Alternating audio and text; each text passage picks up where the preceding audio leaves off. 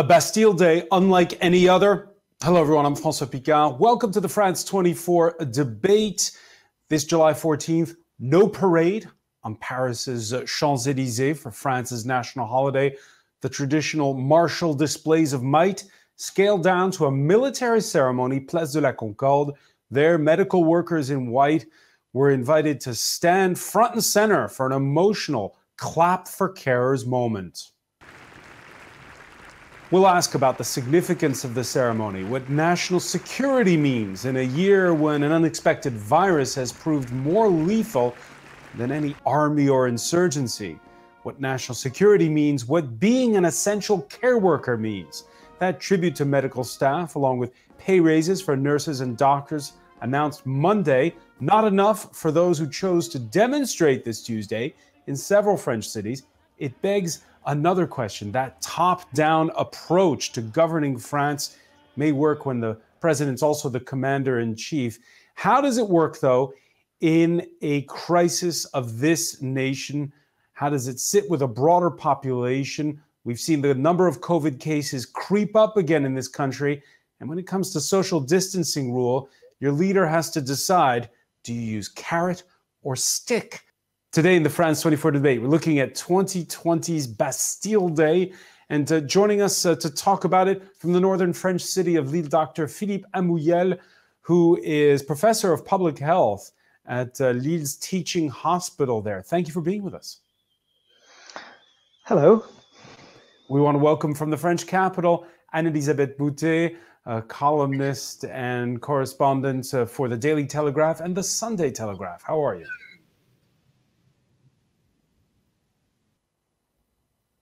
And uh, from the uh, uh, Normandy city of Rouen, the Normandy capital of Rouen, Laura Slimani, who is uh, the recently re-elected uh, municipal councillor, now deputy mayor of Rouen. Congratulations. Thank you. Thank you, Francois. The France 24 debate, where you can join the conversation on Facebook and on Twitter. The hashtag is F24debate. Yeah, before we go to our panel, uh, let's go to that scale down ceremony that took place this Tuesday morning, this July 14th, in the French capital a special Bastille Day ceremony taking place in an extraordinary context. As the world continues to grapple with the COVID 19 pandemic, July 14th celebrations in Paris were redesigned to pay tribute to the heroes who kept the country running during France's two and a half month lockdown. Instead of the usual world leaders and dignitaries, some 1,400 doctors, nurses, cashiers, and other frontline workers were invited as the president's guests of honor. In another break with tradition, the ceremony was moved from the Champs Elysees to Place de la Concorde, which was closed off to the public for sanitary reasons. It began with an homage to Charles de Gaulle, 80 years after his famous appeal from London, followed by a toned down military parade, which put forward the soldiers and medics enlisted in the fight against COVID 19. As fighter jets flew over the crowd in a trail of blue, white, and red, military personnel were joined by a group of frontline workers, including doctors, janitors, and mask makers. In a symbol of national unity, they stood around the French flag as the national anthem was played.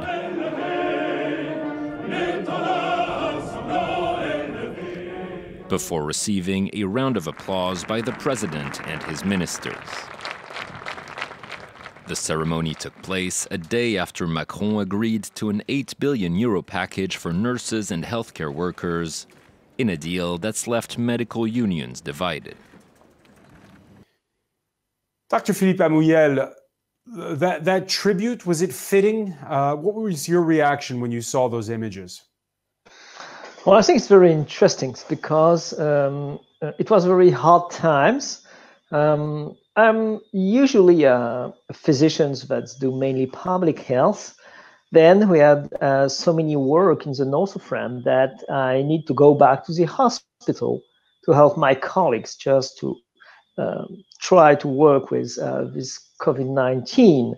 And I think it's something that we appreciated because maybe you know that at the time of the COVID-19 in February, the hospital are already a lot of problems, a lot of works, not enough people, not enough money, not enough beds. And then the COVID 19 uh, arrived, and despite uh, this uh, terrible conditions for hospitals, everything was pretty good. I never had such a period in my life as a physician in my hospital. So I think there was a lot of work where, um, which was done there, and I think it was some ideas to uh, honorate this um, physicians, nurses, and all the people because it was not only uh, uh, physicians and nurses, but all staff at the hospital was really committed just to find solutions and to save uh, as many lives as possible. Yeah, the, the, a moment uh, of solidarity that's being remembered. And as you say, it's not just nurses and doctors. Coming out of this crisis, when we see the men and women in this country who kept France running during the worst of it, what's your definition of an essential care worker? Oh, that's somebody who can uh, at any times be present and concentrate on uh, the patients because you should know that at least during uh, two or three months, everybody was concentrated only on the patients. I was only working with the patients, uh, all the nurses, all the staff were there, and it was very positive. I didn't see any people complaining everybody did the job as far as possible, even exhausted. So it was really a, a unique situation in my uh, physician life. That was very interesting. Yeah, uh, it, it, we heard in an interview, we're going to talk about it in a moment, with uh, the French president, uh, Laura Slimani, Emmanuel Macron saying, in this country, our divisions, we don't know how to handle them when we're not in a period of crisis. You agree with that statement? Um, honestly, I don't really know what it means. Um, I think we are a country where there is a tradition of fighting for social rights, and I'm really proud of that. And I think the president should be proud of this also.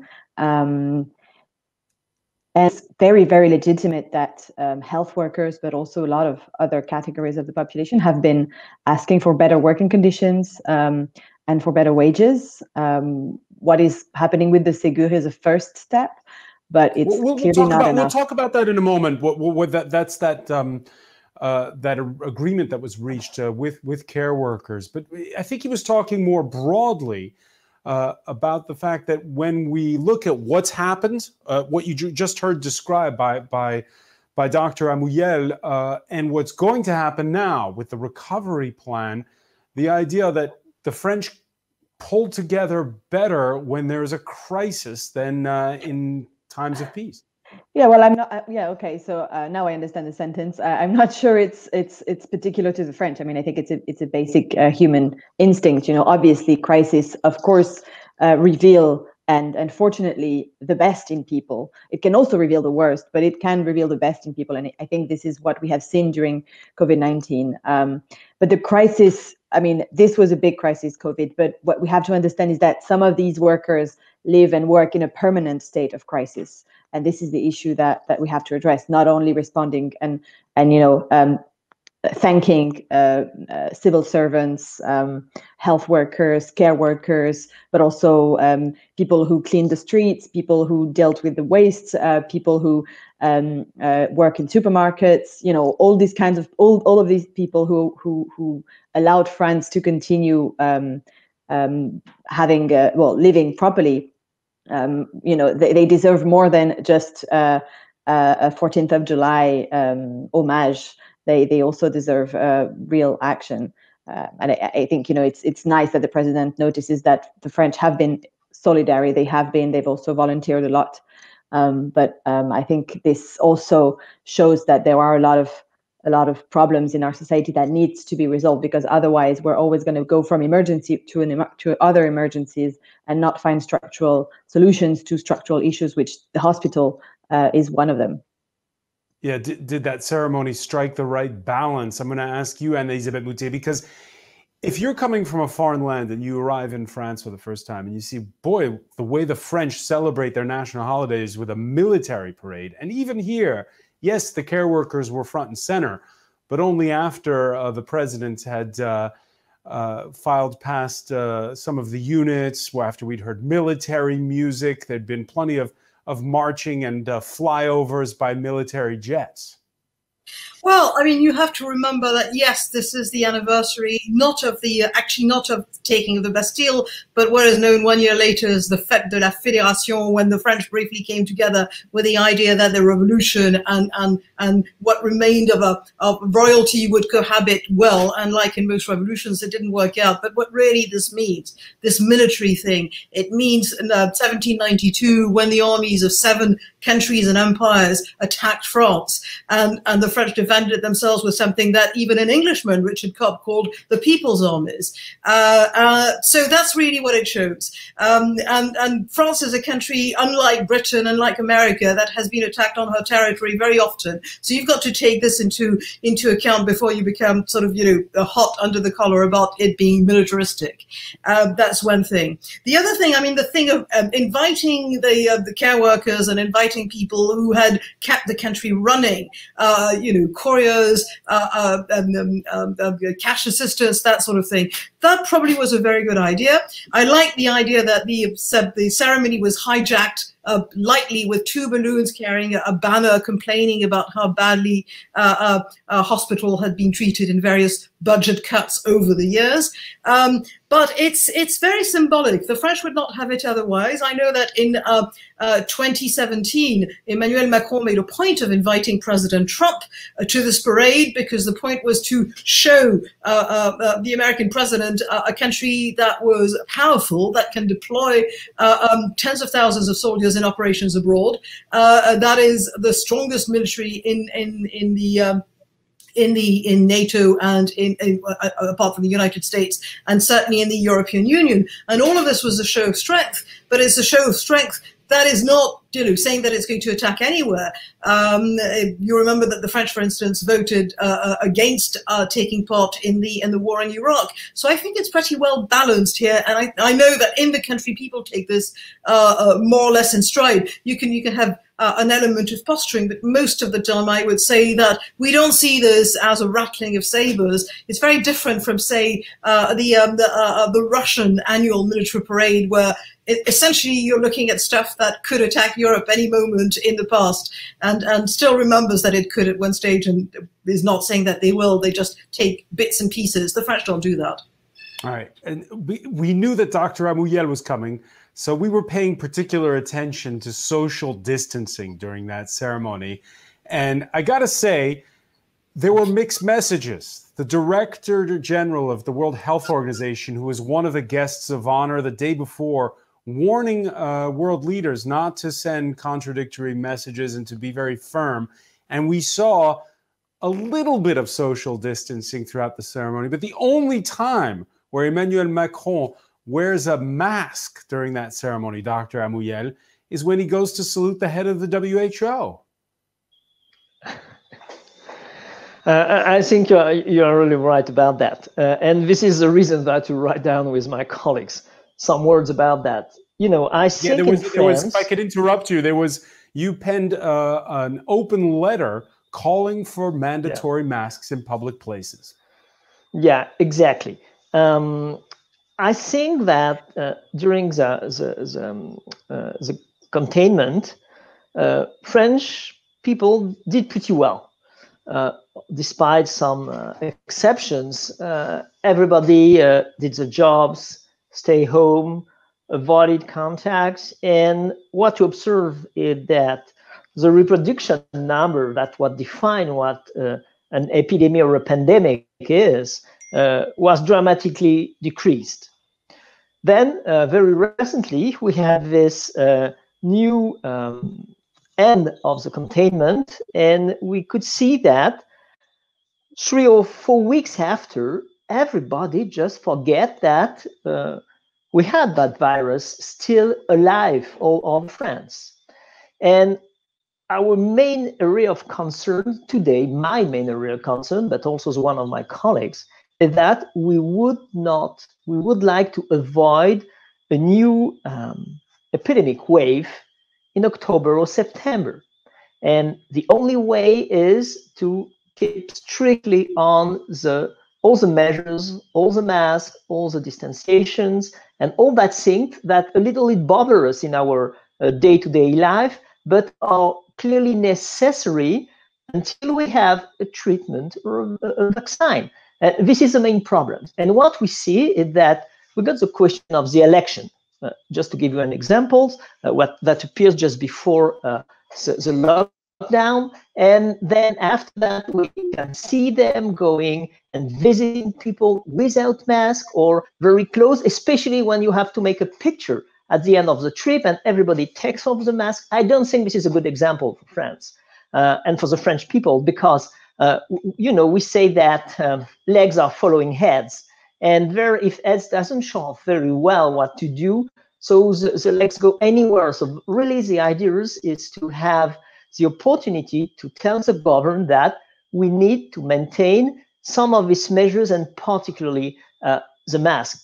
Keep mask on of course not in your car when you're alone or not in the in the street when you are walking uh, almost alone with uh, large distance between people but really when you are in small shop when you're in a restaurant when you're uh, in a place where there is not a lot of uh, um, ventilations and where your chains to be contaminated are very high it's the only way to stop and to maintain very down the epidemic yeah, and uh, we heard an interview with the French president. That item was most anticipated after the return of his new prime minister from French Guiana, where the number of cases has spiked. And we were all expecting him to announce, and he says he will, but in the coming days, uh, uh, rules making it mandatory to wear the mask when you're in indoor public places. Let's listen to Emmanuel Macron. La meilleure prévention, ce sont the best means of prevention against the virus come through what we call barrier gestures. Masks, keeping your distance, and hydroalcoholic gel. We must keep applying that behavior. We have seen weaknesses, so I've asked the government to act, and in the weeks ahead, I would like the wearing of masks to become mandatory in all indoor public places. I recommend to all our fellow citizens to wear masks as much as possible when they're outside and definitively when they're inside. We're going to observe the situation to be able to, possibly from the 1st of August, make it completely mandatory. Laura Slimani, you agree?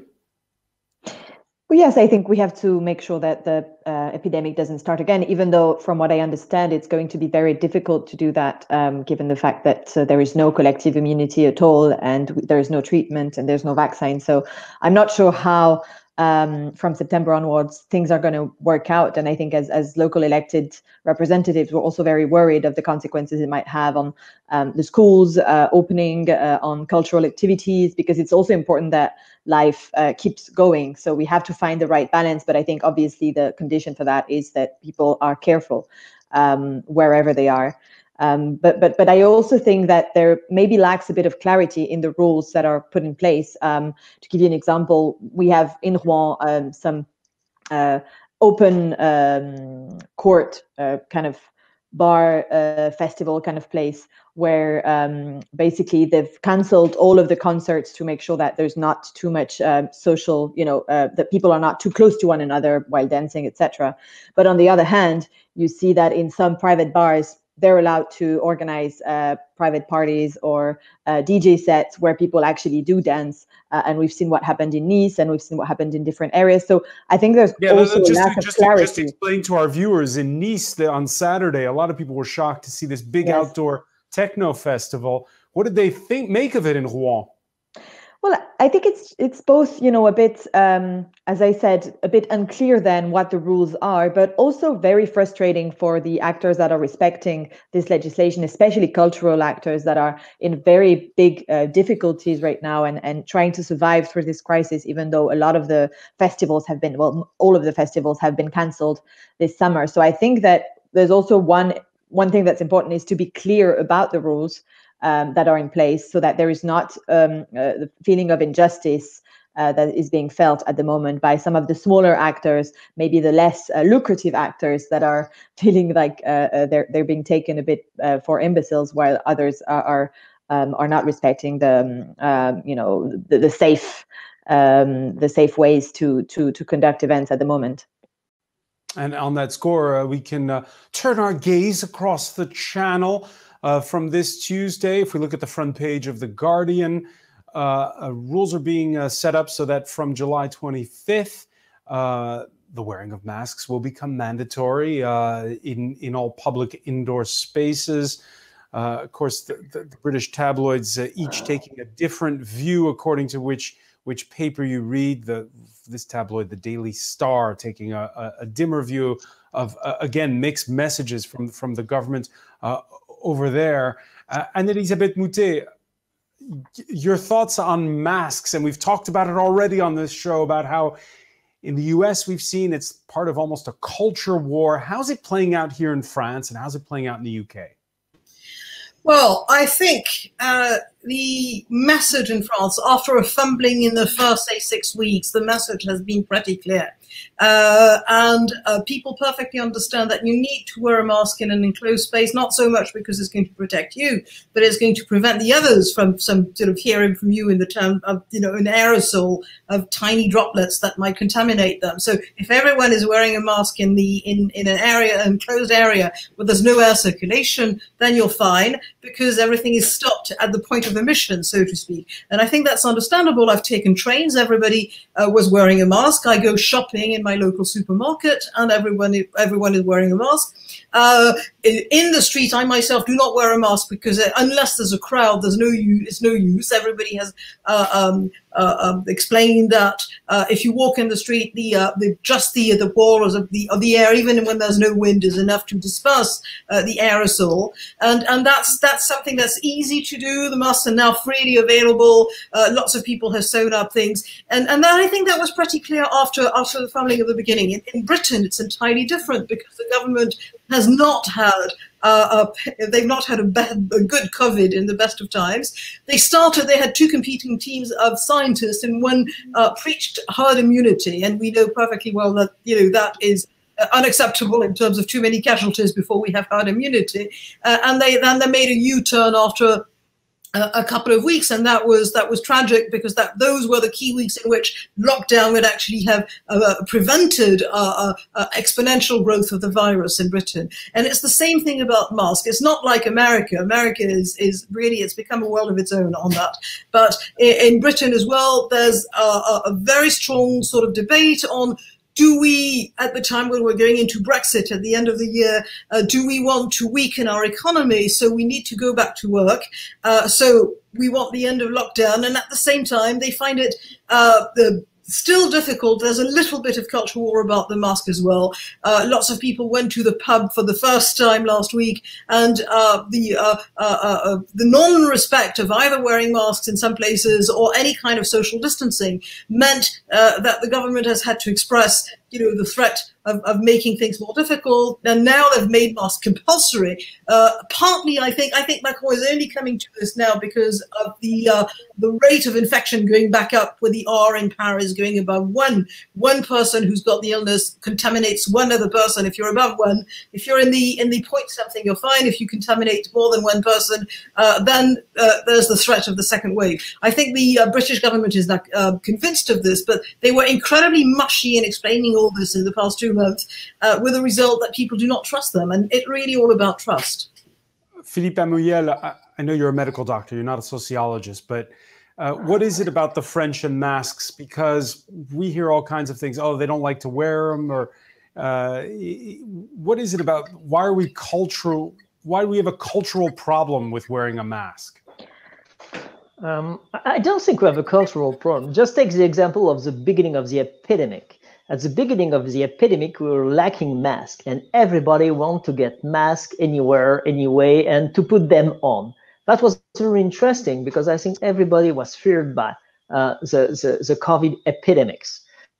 Then we had a period where we could get masks and everybody put them on. And what we see now, let's say for two or three weeks, we see that um, a, reduced number of people are wearing masks. With all the the idea behind that, it is finished. We don't speak anymore on the TV about the number of cases. We see each day the number of deaths decreasing. That's very good news. And they just want to be free and to find the world as it was before the COVID crisis.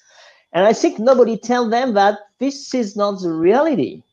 Um, actually um, the, the, infection is down, but not totally stopped. And what we discovered um, two days ago from a, a, a, British publication is that we cannot get immunity more than four or six months. That means that all the theory about the collective immunity is down now. And this is not a surprise for us because you may know that we know already coronaviruses, the, the ones who goes only in, in humans, not the ones who go from animals to humans. And uh, we ha all have done this type of coronaviruses once in our life. It's like a common cold, and you do this. You can have these common colds every year, so you don't have a specific immunity. But what we see that some cells get the memory of the virus and help you to be stronger when you find back the, the coronavirus. You're ruining my day, doctor. doctor, you're that. ruining my day because I did the test last week. I tested positive for the antibodies, and I thought, great, I'm free. Yes, for the next six months. That's good for you.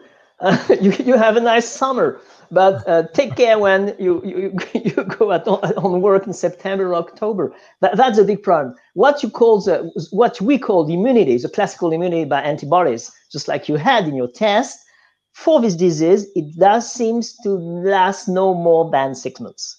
But we have a cell memory that help you to combat it. And once you have seen it, you will be more stronger the next time you will find it and get a lower disease or lower type of disease. But uh, this is a problem. And so we now must be aware of that. We now must be aware that we need to keep the economy up. We don't, it would be a big, big mistake if we have a, a, a new lockdown, a, a complete lockdown. Uh, what we need to do is three things. Is first, to use the, the barrier measures, and especially uh, the mask. Second, to do testing, as you've done. That is, uh, when you have symptoms, when you have something like this, uh, just go and test. And if you're positive, identify your contacts, isolate them, and isolate them.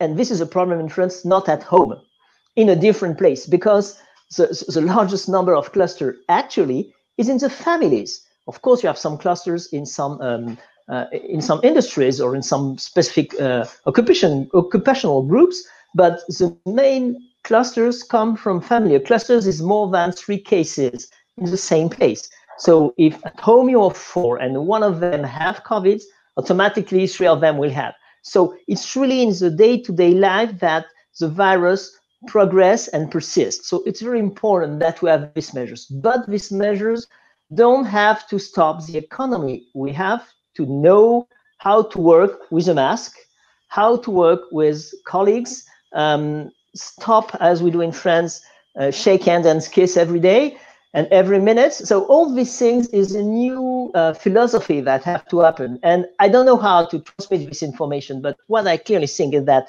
our politicians need to show the way in that direction. They should be wearing their masks more often, is what you're saying. Um, politicians who have heard the cries uh, from uh, people uh, who did clap for carers in this country it was every night at 8 p.m. during lockdown. And so we had a big conference that took place last few days, wrapped up, some of the unions signing on for pay rises. For other unions, it's not yet enough. Those pay rises giving more money to uh, medical staff, particularly doctors and nurses. Let's listen to the new French Prime Minister. Il s'agit d'une forme de rattrapage par rapport à des années de retard, où chacune et chacun, et peut-être même moi-même, a sa part de responsabilité.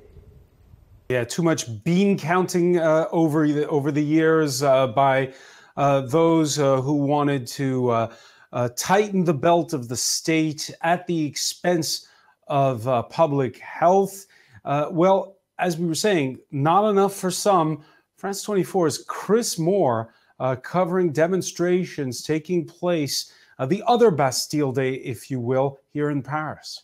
Over at Place de la Concorde, uh, Emmanuel Macron and the French government very keen to show that they were paying tribute to health workers, uh, amongst others, who as you can imagine, are national heroes here in France in the wake of the uh, COVID 19 crisis. The context, as you said, is pen being put to paper on an extra 8 billion euros for France's uh, public health sector, a lot of it going uh, in pay rises to nurses who'll get an extra 183 euros a month on average. Not all unions uh, are happy uh, with that, and some of them are leading what for the moment is a relatively small uh, demonstration uh, against this and the government's attitude to the health sector uh, in general here at the uh, Place de la République. Now, France's health system just about uh, held up uh, during the COVID 19 crisis, despite at one point having to call uh, on, on, the country's neighbours uh, for help. But these unions, other critics of government policy, uh, say that the COVID crisis exposed uh, a lack of resources, a lack of funding that had been going on not just under Emmanuel Macron but under his predecessors, Francois Hollande and Nicolas Sarkozy. You've been hearing also about some of the other problems facing the French president, not least COVID 19 uh, triggered unemployment. Bastille Day is traditionally kind of the time when the French uh, knock off for the summer, but it's also uh, a country in which politics often play out on the street, uh, and it's likely to be a challenging autumn, I think, for the French president and his government. Yeah, before the show, Laura Slimani, we were saying we, we don't remember there being a demonstration. French do like to demonstrate a lot. We do play to stereotypes, but uh, demonstrating on Bastille Day. I don't have the memory of that. Um, yes, no, me neither. Um, I have to say, but um, I think yes, French people demonstrate a lot. But I, I think um, uh, you know, in a lot of countries now, there are a lot of you know, in the U.S., people demonstrate a lot also, and and so we have this image of the French. Um, you know, it's it's true. We are, as I was saying earlier, um, uh, people who who wants to fight for their rights and to voice their concerns in the street. I think it's very uh, healthy democratically. Um, but yes, no, I mean on 14th of July, I've never uh, I've never seen it before. I think it's because um, there was this um, you know a debate or this discussion uh, present well, with, between the president and this journalist and uh, the announcements that were indeed disappointing for part of the of the health sector. Uh, which I mean, in my opinion, uh, you know what they announced is the least um, they they could do because um, what, what is it the least, but is it also the most? I'm asking the question because you have two contradictory forces. On the one hand, that public pressure to uh, to do more for for our healthcare service, and on the other, the fact that well, we're we're staring at a deep recession. Yes, but I mean, again, it's always, um, you know, there's always a very strong feeling of injustice there. I mean, we know we are going to face a big economic crisis, but the president still hasn't said that he was going to go back on the massive tax cuts he uh, uh, gave the richest people in France at the beginning of his mandate, uh, or maybe he said earlier, but I'm not sure he did. Uh, so, I mean, you know, it, we yes, it is the least we can do after, uh, you know, tens of thousands of people have died in the hospital, all partly because our system is not uh, good enough and because um, the working conditions are not good enough because we didn't have enough masks you know for many reasons but you know we've we've had to reach this this huge crisis so that uh, the demonstrations and the claims that have that uh, the health workers have been making for months and months. You know, they were demonstrating and and on strike for months and months before uh, the COVID nineteen crisis, actually, and now they are getting what they have been asking for uh, months you know? So i think it's it's only fair that they do but at the same time we are lacking a more global reform of the health sector and of hospitals as well in terms of governance more democrat more of a democratic governance um, in terms of uh, prevention in terms of uh, environmental health. You know we would need a big a big reform and the government is not uh, doing that and he's not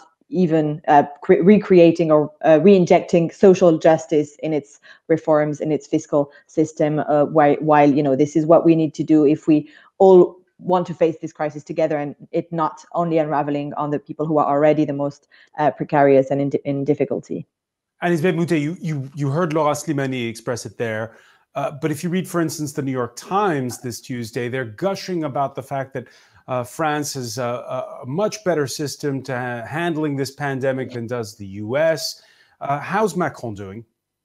oh, he's not quite doing as well as Angela Merkel, but he's in the first, he's at the bottom of the first third, and that's really a passing grade. Uh, the, the, the American handling of the pandemic has been terrifying in so many ways. Um, I, there are several things about this. I think there was this this uh, medically, I, you know, in the beginning, uh, um, um, um Ms. Slimani said, uh, we, the, everybody, every nation uh, does well under pressure. And actually, there is something which makes the French not so good at team playing, which makes them very good when you've got to be virtuoso in, term, in periods of emergency. And that's been seen time and again. And um, I know uh, a specialist of French-American comparisons who calls it the D'Artagnan complex. And suddenly the doctors had to cure people and they had no bureaucracy, no forms to fill, no sort of extraneous administrative tasks. And they, they were exhausted, but they faced up to this. Private hospitals, private clinics sent people, and everybody was working together. And that is exactly the kind of, of instance in which the French are good.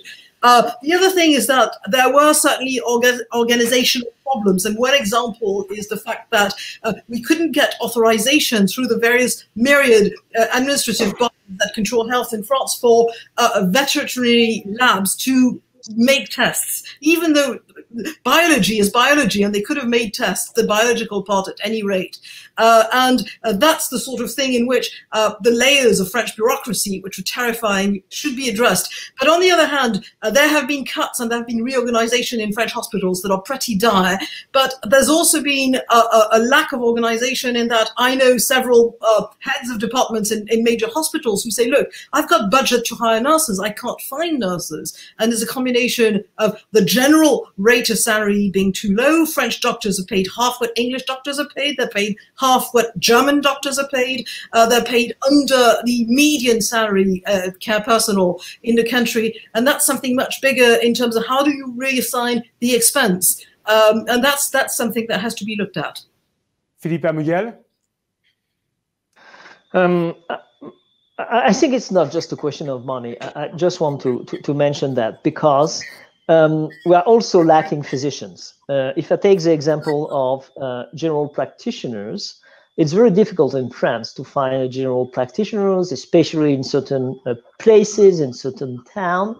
So I think uh, money is one of the questions. The second question is the way you pay for hospitalizations, reference. I think this is another point which is very important and the assignment of the different type of hospitalizations. We have public hospitalization, but we have also private hospitalizations. This should be better defined. What, who is doing what, and for what price? And third, I think, is the way we are, um, how do you say, educating our physicians and forming new physicians uh, and nurses also, and uh, all the health workers.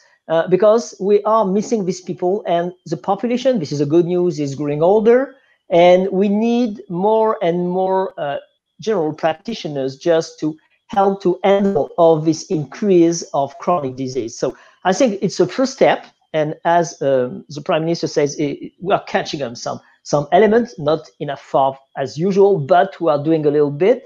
But I think we have to think also about the way how we recruit physicians, what are their missions, if they are in the public domain or if they are in the private sectors. And I think these elements need to be discussed. Uh, otherwise, we will not be able to solve a lot of problems we have actually in France about. Uh, we're, we're out of time, Dr. Amouyel, but it is Bastille Day, so I have to ask you this question. You remember at the beginning of the crisis, Emmanuel Macron was kind of told off, you might say, by the French, by the German president, uh, who who said, you know, we're fighting a virus. It's not a war. It's not a foreign army, and to tone down effectively the martial language do you think Emmanuel Macron today strikes the right tone when he comes to this crisis?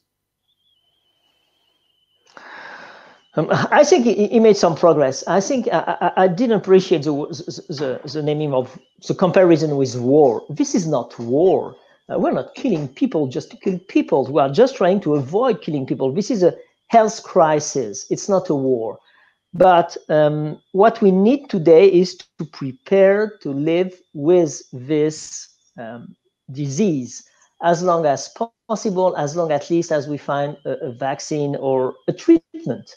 But um, the message are very important, and the exemplarity of our uh, government is also very important. So uh, I hope, I sincerely hope that um, we can go forward uh, with this uh, barrier measures and also uh, maintaining our economy because uh, this is another point that we really need to respect. And i really fear what could happen if we had the second wave in uh, in october. So uh, please keep All on right, Dr. Amouyel, Philippe Amouyel, one of the co-signatories of that open letter calling for the mandatory wearing of the face mask uh, in indoor public places. Thank you so much for joining us from Lille. I want to thank Laura Slimani for being with us from the Normandy capital. Thank you.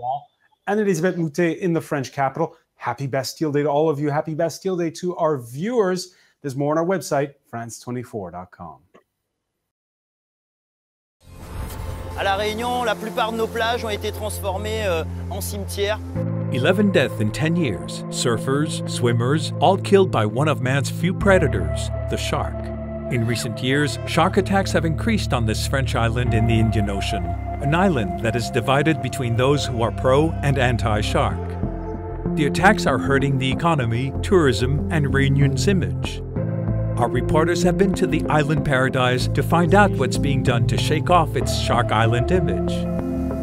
On va aller réappâter du, euh, matériel de pêche au requin dans le cadre d'une campagne de pêche préventive qui est, euh, ordonnée et organisée par, le, par les autorités, les pouvoirs publics. Revisited on France 24 and France24.com.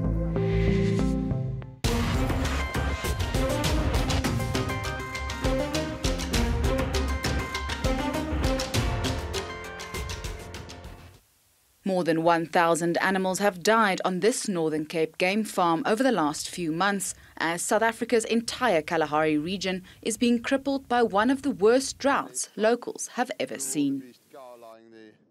We are trying to go on um, as, as we are at the moment, but it's only going to be so, so long before our, all our resources are, are, are out and, and we don't have any money left to do what we do. Turu Lodge, like so many others in the area, is heavily reliant on international hunters to keep the business afloat. But recently, none have arrived. Unfortunately, the, the drought forced us to, to place all our bookings on hold. Um, we can't book a guy coming from overseas having the, the safari feeling and trying to give him the best safari ever had. But, but he, there's, the animals that's here are very skinny and, and is dying. They currently spend around $14,000 a month just on feed, trying to keep the animals they have left alive. This job goes to one of the few remaining staff members, Paul. He has been on the farm for 28 years and always depended on tips from visitors to supplement his income. But this year, he struggled just to get his kids ready for school. I needed to borrow money this year just to buy them books and stuff. The years before, I had the money. Things are tight, much worse than before. A few kilometers away, lifelong commercial farmer Johan Steenkamp admits he can't keep going on like this past March. Uh, Our animals are really suffering. We have lost many animals. At this stage, I have between 30 and 40 percent of my herd left. Everything else either died or we had them slaughtered. Even as the region enters its much anticipated rainy season, the farms and their animals will need more than a year to recover, and many simply don't have that long.